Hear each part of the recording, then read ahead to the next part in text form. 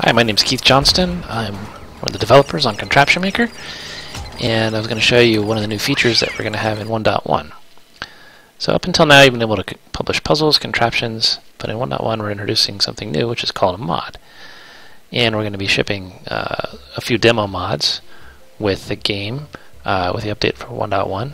This one is called Flappy Tim, which you're probably familiar with. The uh, game mechanic is pretty simple. I'm pressing the spacebar to cause Tim to flap. And um, just trying to get to the end of the level. And this uh, was constructed in uh, make mode using our new script editor. Uh, we also have a pinball game, simple little pinball game. And you, here you can see we have like a little score being updated every time the ball hits one of the bumpers.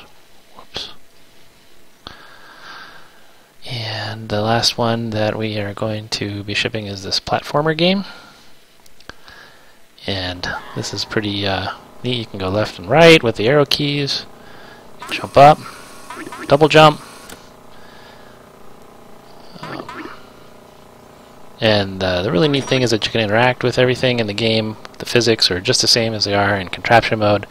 So I can shove this bowling ball over, turns the fan, gets this going. I can finally get past the gap here. So, uh, what does this look like in make mode? I'm going to go ahead and load up uh, the pinball mod. Get rid of some of these other windows. This is a nice one. Code is very simple. Um, so there's a few uh, standard functions that get called by the game, uh, one of which is the collision function. So here you can see where we're uh, testing to see if we've collided with a pinball bumper and we're updating the score. Uh, if we hit a wall, then if the ball count is less than or equal to zero, the game is over. Otherwise, we just reset the ball. And here's where we're updating the score text. And uh, this onStart function is the one that gets called uh, when the game first starts and I can edit this then hit play.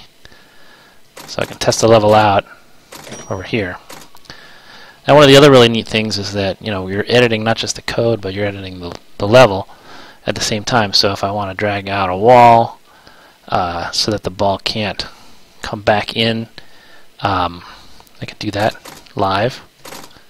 So now the ball doesn't go over to the right of the bumper or it's a lot harder to make it go over the right um, so let's see if I wanted, for example, to make the uh, right now the ball is resetting automatically uh, every time the ball dies. Um, I want to make it so that the ball um, that I have to hit the up arrow to make the ball launch. So I'm going to uh, create a new variable here. Ball is dead, and uh, when the game first starts, I'm going to set ball is dead to true and now I don't want to add a force to the ball. Um, then here, where right here is where the ball is not uh, the ball count is still um, less than or equal to zero, and we're setting this force. Instead, I'm going to do is just I'm going to set the ball is dead to true here. So now this is uh, where we actually set the ball up and, and launch it. So what I want to have happen now is I want to actually have that happen in another callback. Um, which is in the on key up. And that uh, function will always get the variable for the key code. And in on key up, I want to say if key code equals to the up arrow and the ball is dead. We don't want people to be able to launch the ball while it's in flight. Then I'm going to take this code here and move it down here. So now we're saying that uh, when the ball is dead and I press the up arrow, it will relaunch the ball. And of course, then also the ball is now alive. So, so ball is dead is false. Okay, I think that does it. Oh, I also, uh, there's one more thing if uh, when the ball hits the kill wall, we really don't want it to um, play the animation if the ball is already dead. So we really only want to do this if the ball is not dead. Okay, I think that'll do it. Let's give it a shot. Okay, so the ball is sitting there waiting. I hit the up arrow. Ball is launching. And boom, ball is dead.